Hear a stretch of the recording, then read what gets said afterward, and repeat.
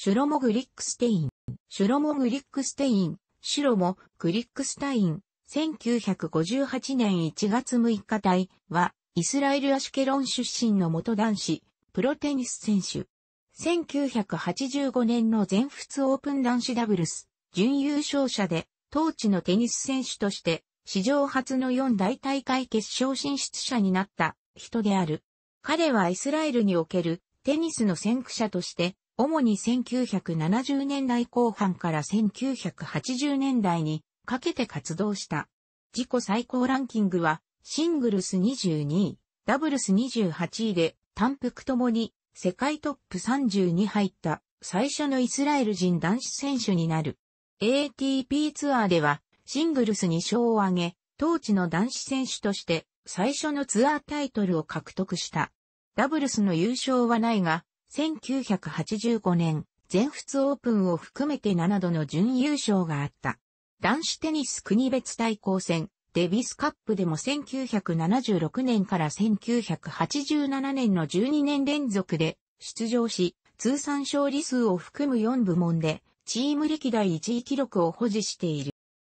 グリックステインの父親はイスラエルテニス協会の青少年育成委員長で息子のシュロモは10歳からテニスを始めた。シュロモは12歳で、イスラエルのナショナルコーチに才能を認められ、16歳の時にバスケットボールとサッカーを断念して、テニスに専念する決心をした。イスラエルでは、18歳から21歳までの3年間、イスラエル国防軍への兵役義務がある。この年齢は競技生活を軌道に乗せるための重要な時期と重なるため、当地のスポーツ選手が他国の同年代選手に遅れを取る障壁になるケースが多い。グリックステインは国防軍に入隊した1976年、18歳でデビスカップのイスラエル代表選手に初選出された。彼が代表入りした頃、イスラエルチームはヨーロッパゾーンの予選よりもさらに下の位置に落ちていたが、彼の加入により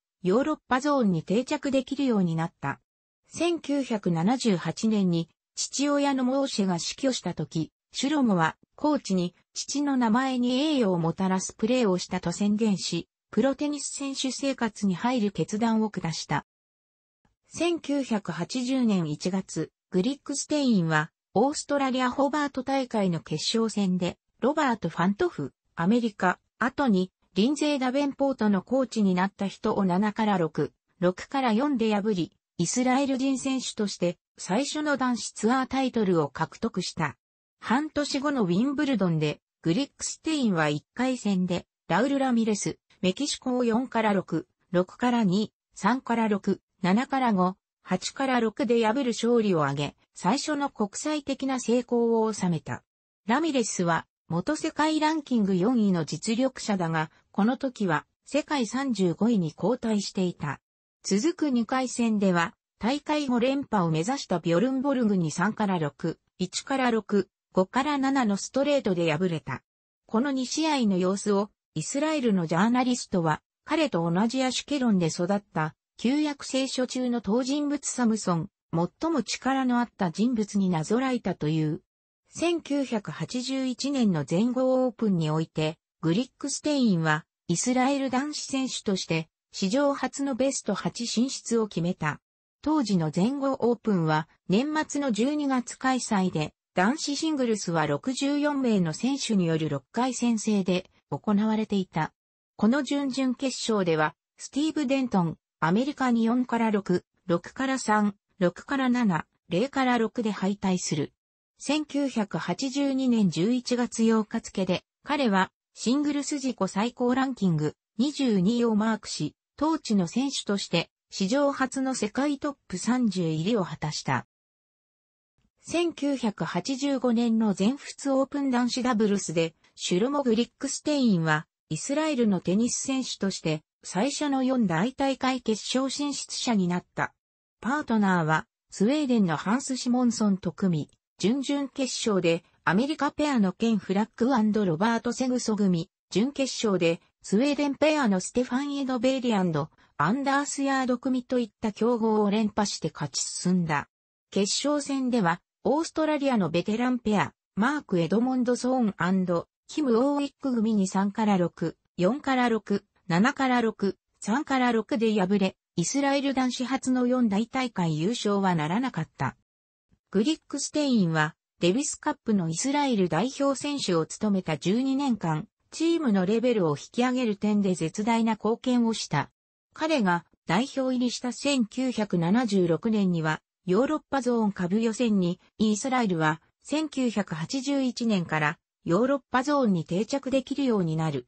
1981年から1983年まではヨーロッパゾーン準決勝で止まったが、1984年にはヨーロッパゾーン決勝へ初進出した。そしてついに1986年のヨーロッパゾーン決勝でイスラエルはスイスを4勝1敗で破り、1987年に世界最上位のワールドグループ初進出を決めた。グリックステインは代表最後の試合として、ワールドグループ準々決勝の対インド戦を戦い、ラメシクリシュナン、ビジャイアムリトラジ、アナンドアムリトラジとの試合をこなした。12年間の代表経歴を通じて、彼は通算勝利数44勝22敗、シングルス勝利数31勝13敗ダブルス、勝利数13勝9敗、最多試合出場数24の4部門でチーム歴代1位になった。